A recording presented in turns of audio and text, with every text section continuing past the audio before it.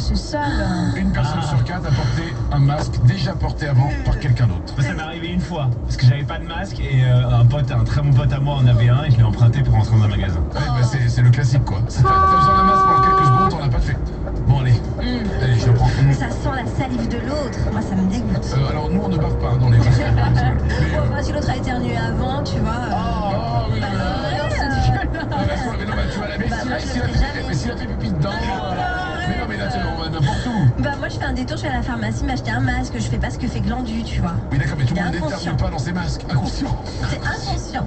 C'est ça, bah, après, après, dans deux minutes, ça va être la faute, la faute de Glandu, c'est le Covid. C'est à cause de toi, Glandu. 8h48, on s'écoute Coldplay et BTS sur Énergie. Juste après, on vous prend au téléphone au 0870 42 48. Bienvenue.